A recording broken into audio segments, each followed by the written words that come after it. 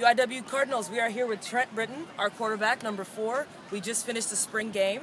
Please tell us about the game today. Uh, it was fun. It was, it was, good to be back out there with, with, my team and had a lot of fun doing it. You know, uh, got a lot of things to work on, but a lot of things went, went well for us today. Okay. And you had a season-ending injury last season, first game out. Uh, tell us how it feels to be back on the field, to be with your team. Oh, it's, it's it's amazing. You know, God bless me in so many ways to be back out here as soon as I as soon as I can be. And you know, this is what I'm here to do: to play football, and, and I love the game. So it, it's really exciting that I get to, to come back and, and play with with my you know my brothers out there. So it is a good deal. Excellent. Okay, so coach said you have about three uh, three practices left. What are you going to take from the game today to uh, finish strong in the spring season, so you guys will be ready and prepared for the fall?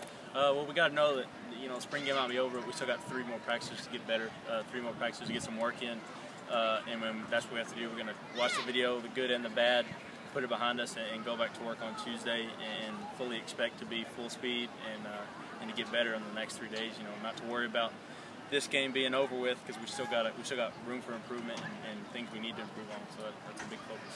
Excellent. Good luck with the rest of the spring season. We'll see you in the fall. Thank you, man. Awesome. Thank you.